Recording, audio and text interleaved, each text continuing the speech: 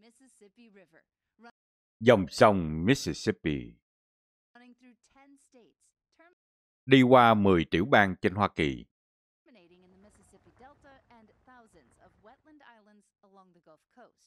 dọc ở đây có rất là nhiều mảnh đất,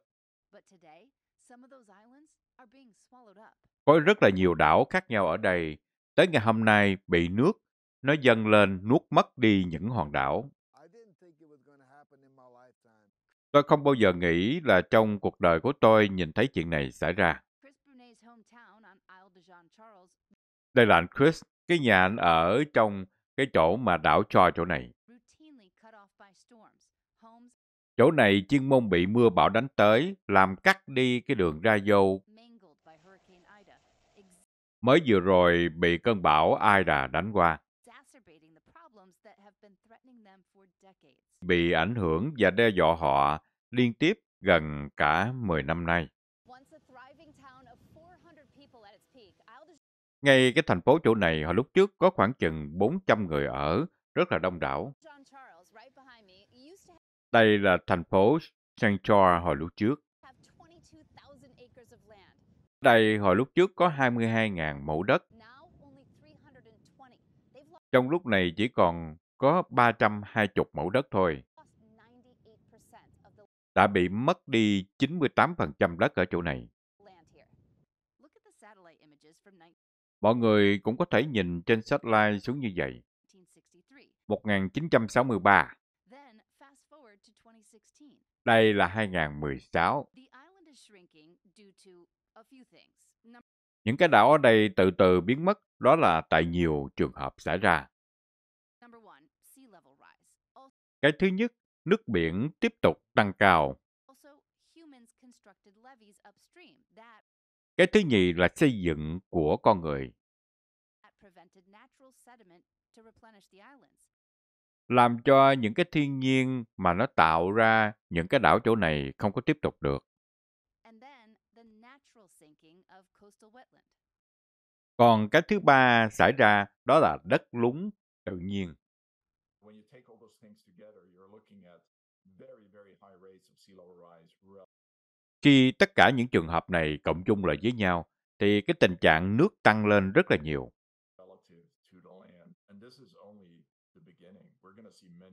Đây chỉ có mới bắt đầu thôi, chúng ta sẽ nhìn thấy thêm nữa. Nhiều chỗ cộng đồng khác từ từ biến mất.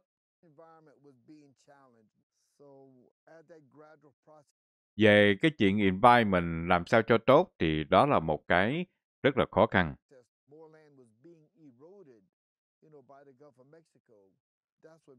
Trong lúc này có nhiều mảnh đất ở đây bắt đầu biến mất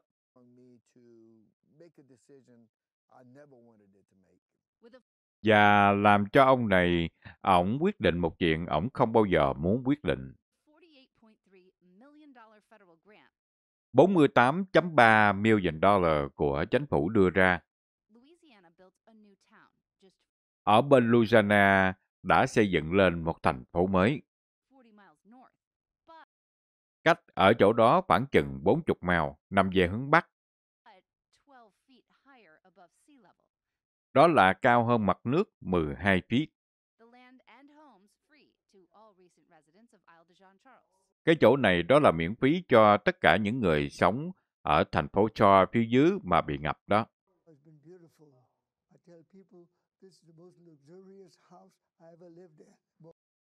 Tôi đây nói với mọi người nhà cửa chỗ này rất là đẹp. Đẹp mà nhà tôi chưa bao giờ ở cái nhà nào đẹp như những cái nhà này.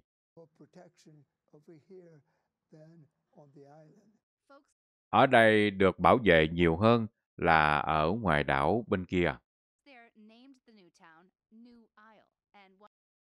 Những cái người sống chỗ này đặt cái tên cho thành phố chỗ này tên là New Isle. 100 families will call it home by the end of this year. I used có khoảng chừng 100 hộ gia đình gọi đây là nhà trong năm tới.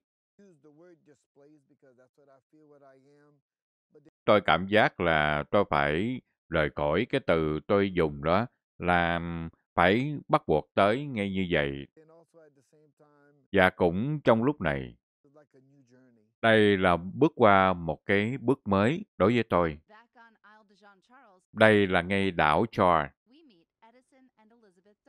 Chúng tôi gặp ông Edison và bà Elizabeth. Họ không có định rời khỏi gì cả. Tôi có nhà ở đây, sống lên từ nhỏ chỗ này. Tôi sẽ ở đây.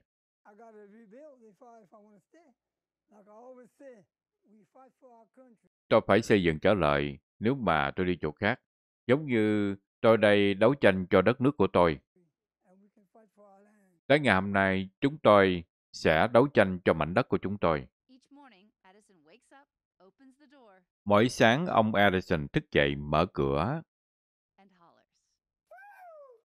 Ông ta hú lên một tiếng. Đó có nghĩa là tôi cảm thấy thoải mái và được tự do. Mảnh đất chỗ này là nằm trong lãnh thổ của những người dân tộc. Ở đây là học một cách mới, sống một cách mới. À, rất là khó khăn để mà học lại từ đầu. Tôi đây tôn trọng những gì mà họ quyết định. Họ quyết định không rời khỏi cái mảnh đất của họ. I think they had to make that choice for themselves. Tôi nghĩ là họ phải tự quyết định như vậy, tại vì những gì họ biết là ngay đó. Losing these islands is not just impacting the people of Mất những cái hòn đảo này không phải là ảnh hưởng những cái người dân sống ở đây không.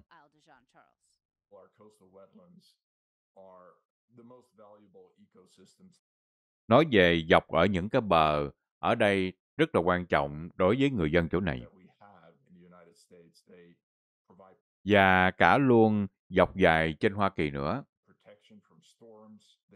Đây là cái chỗ bảo vệ mưa bão khi mà đánh vô trong Hoa Kỳ.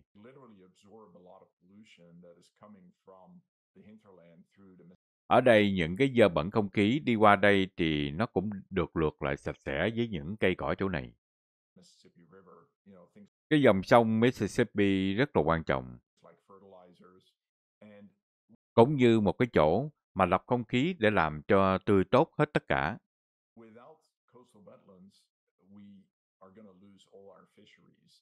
Không có những cái chỗ như vậy thì chúng ta sẽ mất đi rất là nhiều giống như về cá.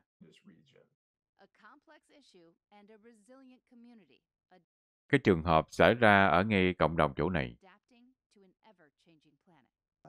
Một cái mà cho tiếp ứng với cái tình trạng mà thay đổi trong lúc này thì chúng ta phải cần thay đổi. Uh,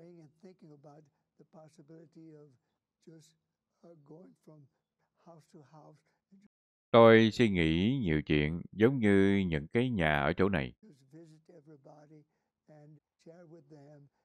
Tôi đi tới từ nhà ở đây, à, viếng thăm tất cả, cho cộng đồng ở đây biết nhau hết, vui vẻ để mà sống.